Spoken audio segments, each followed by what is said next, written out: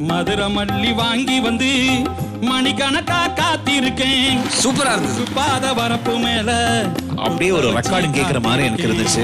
எப்பத்தான் நீ வருவ? இந்த பாட்டு நீங்களே எழுதி கம்போஸ் பண்ணனதா? ஆமா. நாடகத்துல பாடி சம்பாரிச்ச பணமெல்லாம் இதுல போட்டு எட்டு பாடலும் பண்ணேன். ரொம்ப சிலர் மட்டும்தான் ஆத்மார்த்தமா தன்னோட கலையில சம்பாதிக்கிற காசை மறுபடியும் கலைக்காகவே செலவு பண்ணுவாங்க.